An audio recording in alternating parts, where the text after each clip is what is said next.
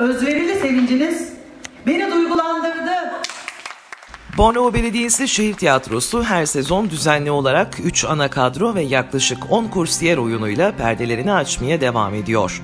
2014 yılından bu yana Sevda Şener sahnesi, Nedret Güvenç sahnesi, Atatürk Kültür Merkezi ve Ayfer Feray Açık Hava Tiyatrosu'nda profesyonel kadrosu ve kursiyerleriyle 56 oyunu 418 kez oynadı, yaklaşık 82 bin seyirciyle buluştu.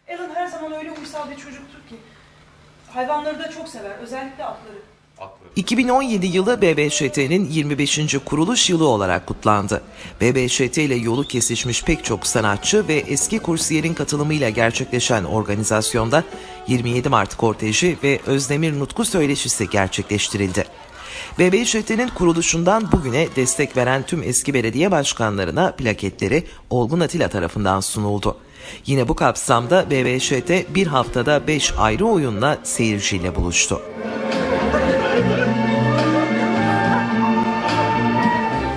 Bornova Belediyesi Şehir Tiyatrosu İzmir, Ankara ve Bursa'da düzenli olarak uluslararası düzeyde festivallere katılarak Bornova'yı temsil ediyor. Ulusal çapta sanatsal performans gösteren BBŞT, 2017-2018 sezonuyla beraber müdürlük olarak İzmir sınırlarını aştı, çeşitli tiyatrolarla protokol imzalamaya başladı. Yapılan sanatsal işbirlikleriyle BBŞT profesyonel tiyatrolara konuk olarak sahnelerini profesyonel tiyatrolara açtı. Böylece BBŞT'nin adının başka kentlerde duyulması, başka kentlerinde Bornova ile kaynaşması sağlandı. Size de çok teşekkür ederim. BBŞT şimdiye kadar 28 ödül kazandı. Bu ödüllerden 16. Direkler Arası Seyirci Ödülleri'nde jüri özel ödülü Bornova Belediye Başkanı Olgun Atilla'ya verildi.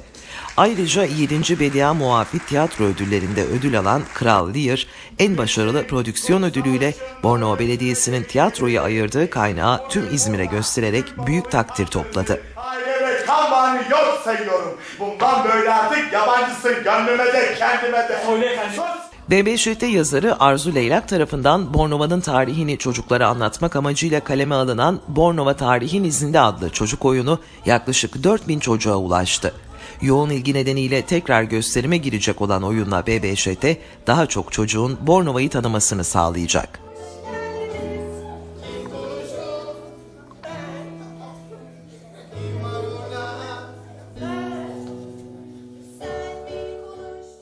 BBŞT kursiyer olarak başlayan ve milyonların sevgisini kazanan pek çok sanatçı yetiştirdi.